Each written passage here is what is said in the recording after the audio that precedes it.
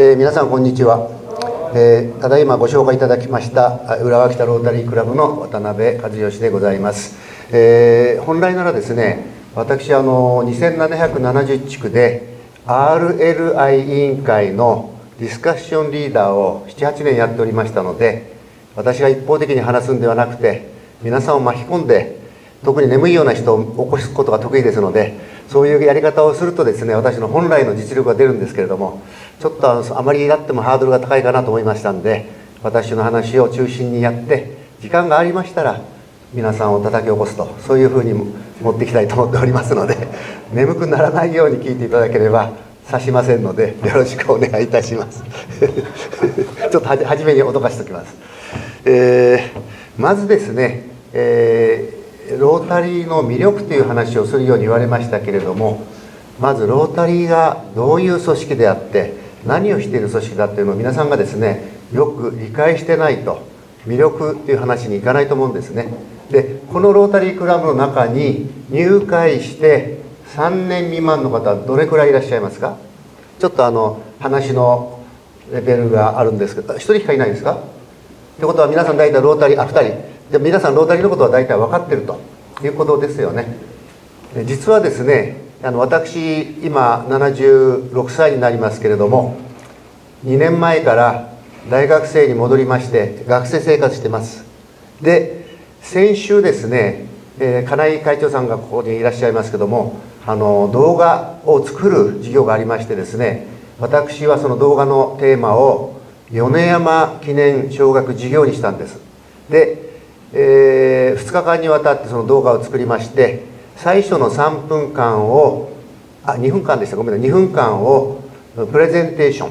しなさいと。で私はロータリーというのはこういうものであると。で米山とはこういうものであるって説明をしましてところで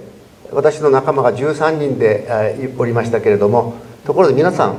ロータリーご存知ですか？って私が質問しましたら誰一人手挙げた人いないんですよ。これがロータリーの現状です。20代から70代のクラスメートでしたけれども誰一人ロータリーは知りません。で私たちロータリアンもロータリーのことを知らないんですね。はっきり言いまして。あの数年前にですねアメリカの国際ロータリークラブがなぜロータリークラブが世間の皆さんに知れ渡っていないんだろうとこういう調査をいたしまして調査会社にですねロータリーのいろんなことについて、えー、まとめてもらったんですね。その結果ですねロータリアン自身がロータリーを知らない知らないということが分かったんです。それと同時にですね皆さんが街で友達に会った時に実は私は本庄ロータリークラブの会員なんですよと友達に言った時にそのお友達が何をしてるクラブなんですか？どういうロータリーって何ですかって言った時にロータリアンが答えられないはずなんです。皆さんによって私がパッと質問した時にですね多分皆さん恥かいてしまうといけないので質問をしませんけれどもこれが一番のロータリークラブの問題点なんです。でそのテーマのまとめた結果は皆さんがロータリークラブをよく理解してロータリークラブっていうものはこういうもんだと簡単にですね1分間ぐらいで友達とか他人にですね説明できるようになればロータリークラブがもっと知られた存在になりますよというまとめでした。皆さんロータリークラブは何ですかって聞かれた時に何て答えますか？なかなかまとまらないんです。でロータリーのですね一つの定義の中にこんな言い方してるのがあるんでちょっと読んでみますね。ロータリーとは人道的な奉仕を行いあらゆる職業において高度の道徳的基準を守ることを奨励しかつ世界における親善と平和の確立に寄与することを目指した実業人及び専門職業人が世界的に結び合った団体です。簡単に言えば自分を磨き時には慈善行為ボランティア活動などを行う世界的な団体です。とこれがあのロータリー一応まとめたあどうも基準らしいんですけどもちょっと分かりづらいですよね。そういうことでですねもうちょっと皆さん頭で整理してですね道路で友達会ったら私は本庄ロータリークラブのこんないいクラブに入ってるんだとぜひとも入ってくださいっていうのが説明できるようになると私たちのこのロータリークラブも大きな組織になっていくんではないかと思います。私が2013年にガバナーになる時にですね2013年の1月にですねサンディエゴに行きましてガバナーエレクト研修っていうのがあったんですね。その当時ロータリーの目指す方向は120万でしたけれども130万にしようとそういう話をしていました。今現在9年経ちましたけど今でも同じようにですね130万目指そうと思いながらコロナでですね119万人ぐらいに減ってます。で減る理由は何かということを調査しますとですね毎年約12万人くらいのロータリアンが入会してくるんですが同じ数の方が退会してしまうんです。そこを改善しないとロータリーは増えないということで130万人を目指してますけども今現在が119万かな？119万1046人。これが9月20日昨年の9月20日現在のロータリー国際ロータリーの公式発表の数字です。ところで皆さんですねここにいらっしゃる皆さん今現在日本のロータリアンは何人いるかご存知ですか？分かる方いらっしゃったら答えていただきたいんですけど何人でしょう？誰か分かりますか？皆さんが入ってる組織のこと知らないといけないですよね。何人ロータリアンが今何人だと思います？はい、なそうですね。あの今おっしゃっていただきましたけど毎月ですねロータリーの友のあるページを見ますと世界と日本のロータリアンの数が載ってますのでそこをご覧になってクラブ数およびロータリアン数および各地区のロータリアンのデータが載ってますので参考にしてですね自分が属しているクラブはどんなものかを知っていただきたいと思います。で、えー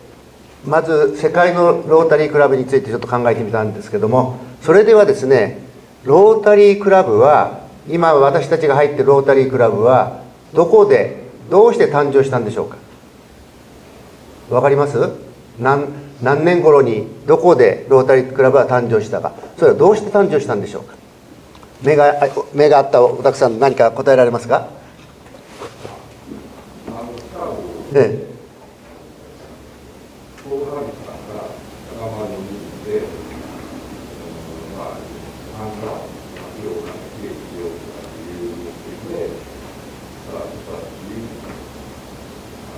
そうですね。1905年シカゴロータリークラブが誕生したのが1905年の2月23日ですよね。でこのシカゴロータリークラブが行った最初の社会奉仕事業が公衆便所公衆トイレだったそうです。でこのロータリークラブが誕生いたしまして今現在120万を目指しているわけですけれどもロータリークラブが誕生してですね12年後かな？12年後ロータリー財団が誕生したんですね。ロータリー財団っていうのは皆さん何か分かりますか？どうですか？ロータリー財団って何でしょう？ねでそれをおまあ社会奉仕に使っていく社会奉仕。はい。他に何かもう一つ付け加えてできる方いらっしゃいますか？ロータリー財団の仕事お仕事。今正しいと思います。あと何か追加してもっと深くするために何がロータリー財団いかがでしょう？誰かお助け助けてください。どうですか？1917年にロータリー財団が誕生したんですね。でこの時の考えが世界で良いことをしようということで誕生しました。でセントルイスロータリークラブだったと思いますけれども最初に寄付した人が26ドル26セント。今のちょうど日本の金額に直しますと3000円くらいでしょうかね。3000円くらいの寄付がなされましてロータリー財団が誕生しました。で長い間ですね寄付が集まりませんでして活動ができなかったんですけれども1946年にあることが起きましてですねたくさんの献金がなされました。1946年何の年でしょうか？お分かりの方いらっしゃいますか？ポール・ハリスさんが亡くなったんです。それでそれをですね皆さん悲しみまして記念にと寄付をたくさんしてくださいました。でこの寄付を使って最初に行われた事業がロータリー財団小学生です。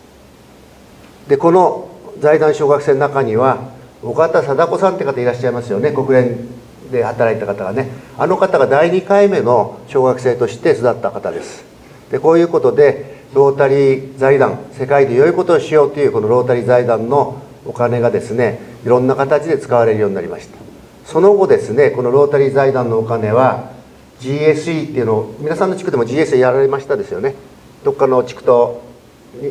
1ヶ月近く交換するんですけどもね。そういうプログラムもありますしそれともう一つですねロータリー財団の大きな仕事があるんですけど今現在動いてるものと皆さん何ご存知ですか？ロータリー財団。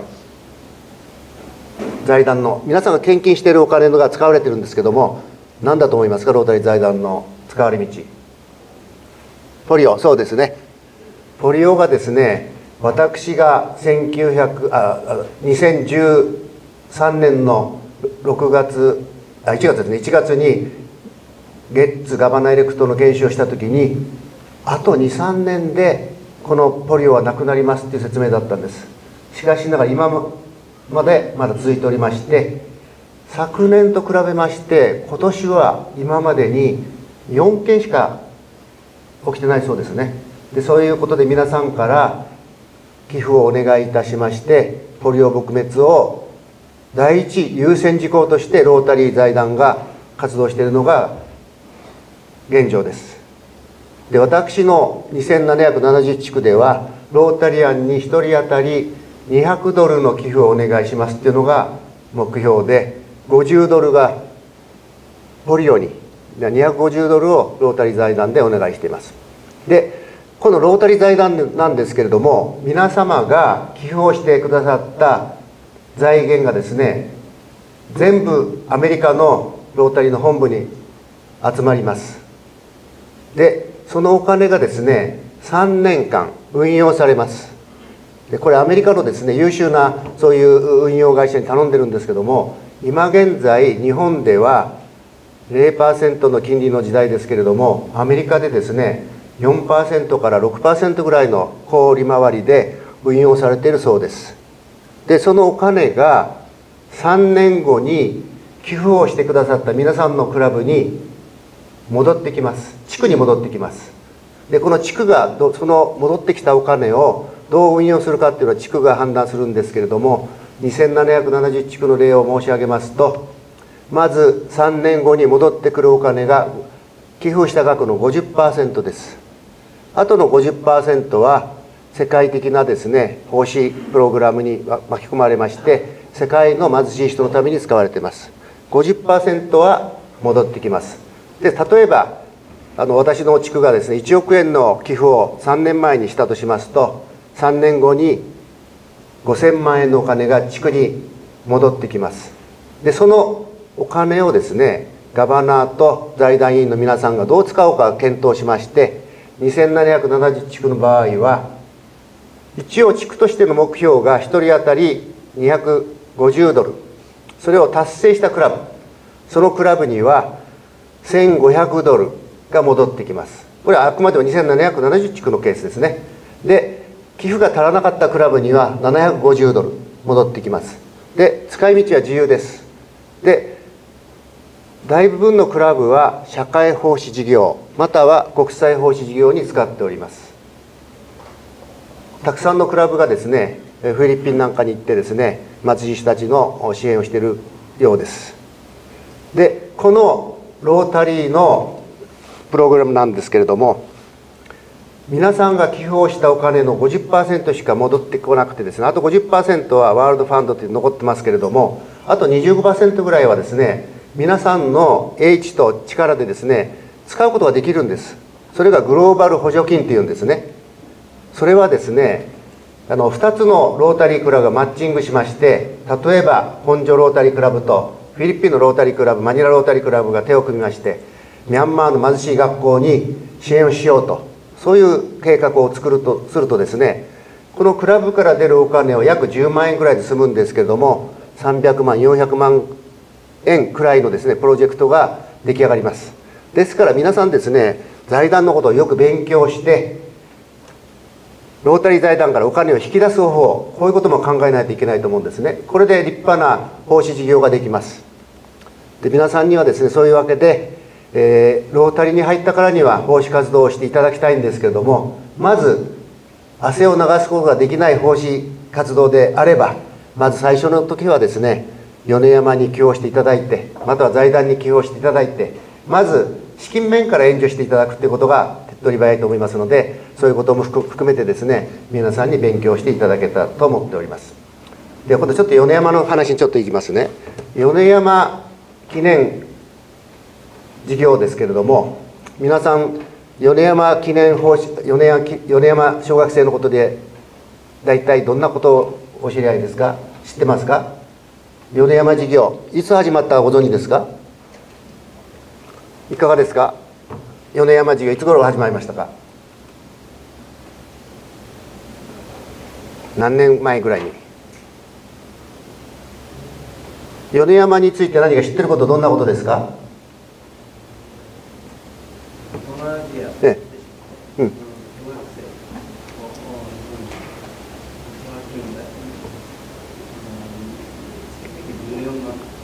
はい。はい。今現在米山記念小学生を日本全体で何人ぐらいの小学生を面倒見てるかご存知ですか？こういうこともですね一つ一つロータリーが好きになる。ロータリーを理解するためにはいろんなデータをまとめる必要があると思うんですけども今現在ロータリーが面倒見てるの約900人くらいです。大体ですね。でこれはですね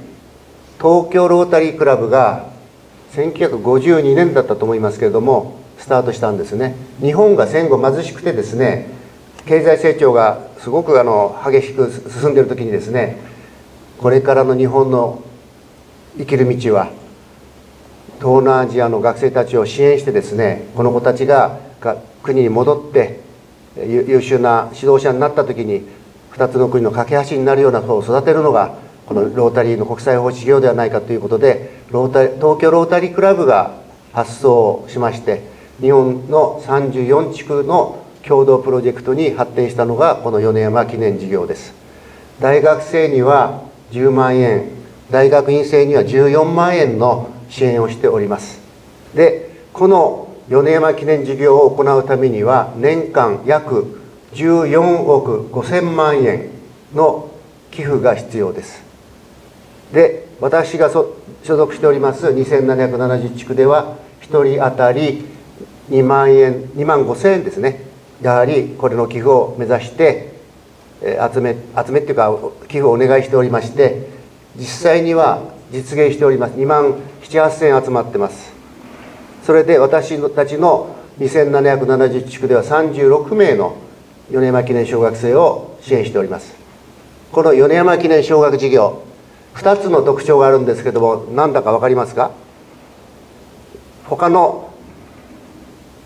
他の何て言うんですか？この小学式にはなく米山にある特徴何でしょうか？2つ大きな特徴があるんです。そうです。カウンセラー制度。もう一つ。2つあるんです。それは1つ。もう1つ。そうです。この2つがあるのが特徴です。で実際にですね米山記念小学生に聞いたことがあるんですけれどもロータリーの米山記念小学生になって日本に7年間も留学生活をしていたけれども今の今まで私は外国人でした。日本の社会も中から入ることできませんでした。米山記念小学生になって初めて家庭を見せてもらってロータリアンの親切な心に触れ合って初めて日本の社会を内側から見たような気がしますと。そんなことをおっしゃってました。でこの米山記念事業本当に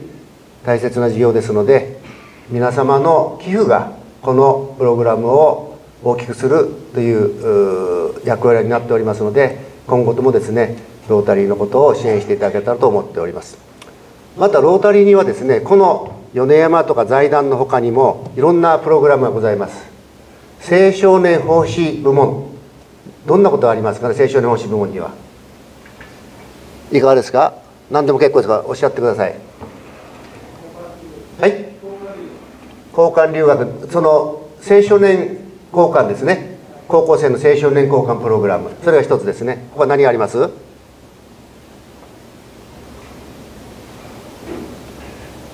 インタークトって聞いたことないですか？ありますよね。インタークト。それはあの中学生から高校生に行くぐらいの若い方たちがインタークトですね。その上のレベルはロータークトっていうのがあるんです。またね。青少年交換ありますよね。それとですねあと青少年奉仕部門としてはですね、えー、青少年指導者養成プログラムっていうのもあるんですね。ライラっていうんですかねこれはね。皆さんがあの2泊3日ぐらいで離れ島なんかに行ってですねいろんな討論したりする勉強会があります。こういうことでですね皆さんにですねいろんな分野について知っていただかないとロータリーの魅力はなかなかわからないんじゃないかと思って紹介いたしました。それとですね社会奉仕事業。こちらのクラブではどんな社会奉仕事業されてますか？例えばこちらの本庄ロータリークラブがやってる社会奉仕事業。また社会奉仕として国際奉仕的にですね国際奉仕社会奉仕事業でも結構ですけども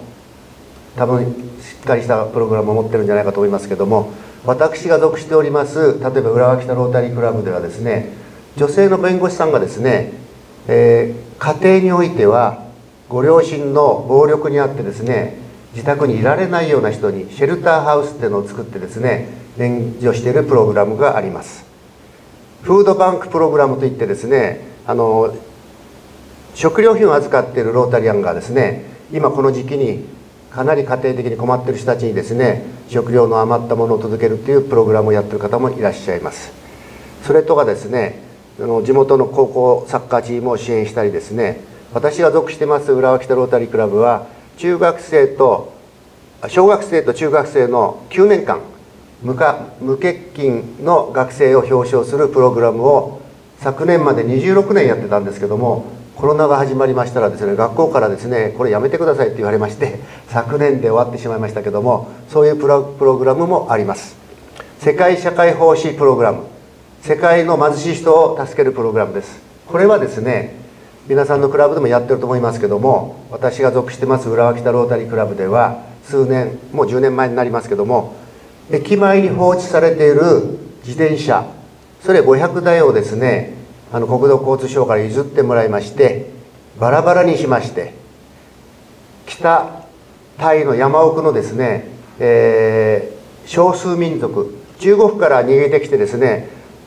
山の奥にいるけどもタイの社会にも入れないような少数民族いるんですね。その子たちは学校に通えないもんですからその子どもたちに自転車を差し上げるプロジェクトをやりまして500台の自転車をバラバラにして送って現地で組み立てましてそれでまたそれをタイヤを新しいのつけて送ったというプログラムです。またこのプログラムが発展いたしまして山奥に住んでいる学生たちが町に勉強するためにですね数十キロの自転車通学になってしまう学生もいるので宿舎を作りました。でその宿舎に止めてあげましてその宿舎を今いろいろとですねあ蚊が入ってこないにしようとか地べたで寝てるのにベッド入れようとかでそっちのプロジェクトも進んでおります。あと私が関係したことではですね、えー、複数のロータリークラブがですね、えー、サンパウロのロータリークラブとジョイントしましてあちらでですね目の手術の機会を提供したこともあります。でこういうことでですねいろんなプロジェクトに参加してですねロータリーの良さを分からないとですねロータリーの魅力は感じられないんじゃないかと思います。例えば職業奉仕っていう言葉がありますけれどもこのロータリークラブはですね私どもが入った30年ほど前には各業種1人しかですねメンバーに入れなかったんです。また私の場合でもクラブの会員に選ばれましても3ヶ月間待ってですねやっとロータリークラブに出たっていう経緯もございます。そんなわけでですねロータリーの士気が高かったけれどもロータリーの魅力も高かったんですね。今現在は足らなくてですね誰でも入っていいよっていうふうになってますんで士気が低くなった分ですねロータリーの魅力も下がってきたんではないかと思いますけれどもその魅力を感じるために皆さんがロータリーのことをよく理解していただいてさらにはですねいろんな役職にですねついてクラブから始まりまして地区に出向して地区のいろんな役所をやることによってですねたくさんの方と知り合いが増えていきます。これもロータリーの魅力ではないかと思います。時間はないです。ちょちょっとせっかくですね今日ここにですね私を助けるために今井さんが来てますので今井さんにちょっと質問していますね。今井さんにとってロータリーの魅力とは何でしょうか素晴らしい友達とか、素晴らしい友人ができるはい、ありがとうございます。ファストガバナーの皆さんにも加藤ファストガバナーどうですか？ロータリーの魅力ってどんなことを感じられます？一応あの一人業種ですから組織がないわけですねそれが大きな集まって組織的な奉仕活動ができるということがまず魅力ですはい、こんな答えになります。もしもしお手さんお願いします。はい、やっぱりロータリー魅力どんなこと感じらってらっしゃいます？がなかなか人とのコミュニケーションという場が少ないんですが そういう意味ではロータリーを通じて非常に多くの方と出会えたと思ってるまた、えー、クラブ員の皆さんのコミュニケーション的な力を、非常に学ばせていただく場が私にとってはすごく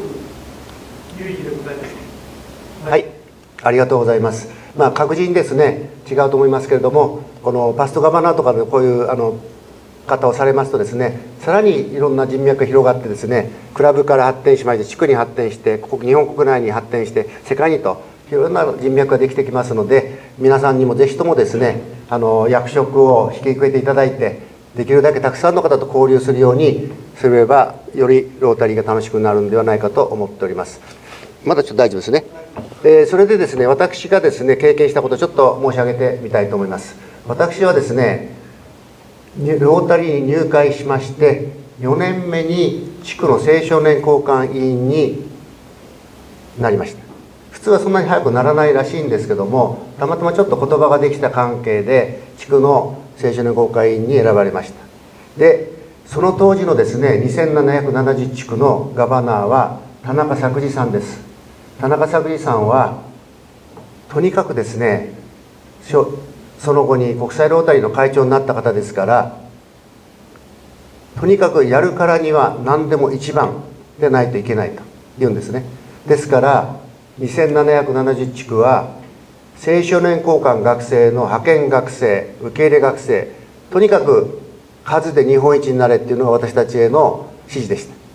で私たちは34人の学生を受け入れまして34人の学生を派遣するという大きなプロジェクトをやりまして他の地区にもう一つ名古屋地区で同じ数だけやったクラブもありましたけれども地区がありましたけれどもとにかく数ではナンバー1を成し遂げたということがございます。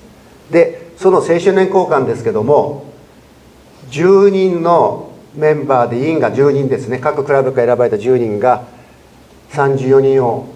面倒見るんですけども青少年交換プログラムっていうのは34人を派遣するために現在34人派遣してまして次にまた34人が行く準備してるんですね。ですから行く外に向かっていく人が68人。来てる学生が34人。来る学生がまた準備してるが34人というと128人になっちゃうんですね。その面倒を見ていくわけですけどもちょうど高校生ぐらいですから選ばれたけれどもノイローゼになってしまう学生不登校の学生自殺を試みる学生海鮮というですね人にうつすような病気を持った学生いろんな学生がおりました。でこれをですね表に出してしまうと青少年交換プログラムがしぼんでしまうんじゃないかということでですね私たち委員委員の中でですね裏で話をしながら委員会活動を行って処理しておりました。でこういうですね汗をのが汗を流す委員会活動これを経験しますとですね地区内の私の同期の住人のですね委員がですねすごい絆で結ばれまして素晴らしいロータリアンの仲間ができてきます。もう245年前の話ですけども今現在私たちはこのグループと年に2回懇親会を行ってロータリーの話をしおよびこの青少年プログラムの発展を願ってですね話をしてます。ですから皆さんですねロータリーのプログラムに参加するっていうのがロータリーを育てるプログラムなんですね。ロータリー活動と同時にロータリーを支援してロータリアンを支援してロータリーを育てる。ですからこういうプログラムに参加しなくてはダメです。RLI がありますよね。皆さん RLI ご存知ですよね。このクラブで参加したこと何人いらっしゃいますか？RLI そうですよね。どうでした？出て。参加してどうでした？